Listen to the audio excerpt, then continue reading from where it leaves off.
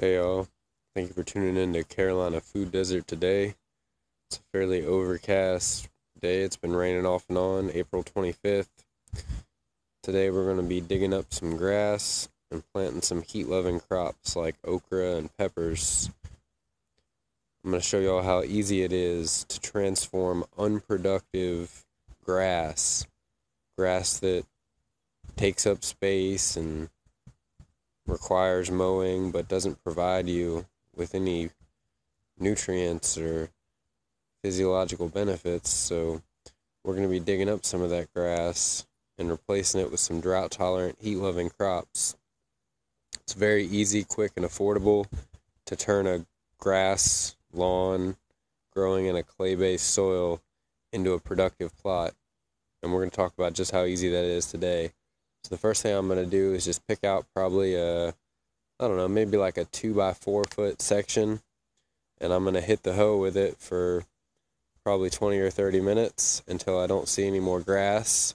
I'm going to move all the grass into my compost pile, mulch around the edges, add some jungle growth potting mix, some South Carolina compost, some compost from my pile, some mushroom compost, maybe a little bit of perlite, maybe a little bit of peat moss, but mostly compost.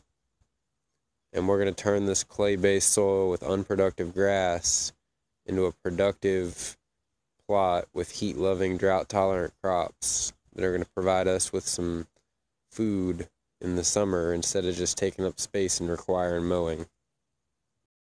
We have successfully removed a four foot by two foot area of grass. Now that we have removed the grass with the hoe, we'll be applying a thick layer of cypress mulch, any type of mulch will do, around the edge. And then we'll be filling this in with a mixture of cow manure, jungle growth potting mix, and some compost.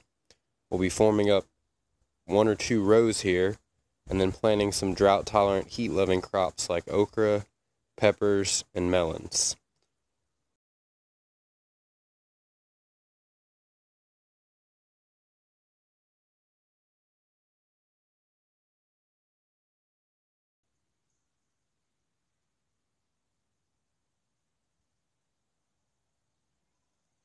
So we just finished bedding up the uh, plot where we removed the grass about an hour ago. I put a couple little purple jalapeno transplants over here. I'm going to have to go to the store and get some more mulch so I can apply a thicker layer.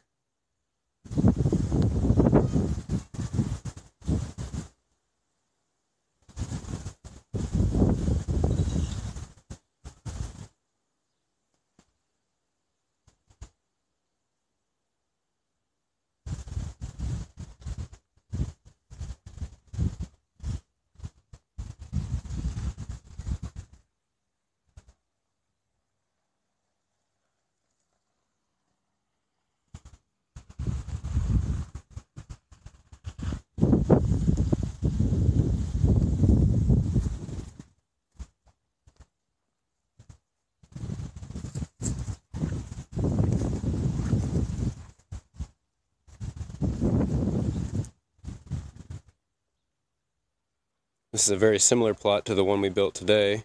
This one here I think we built two or three weeks ago. And hopefully in two or three weeks, this one here will be in a similar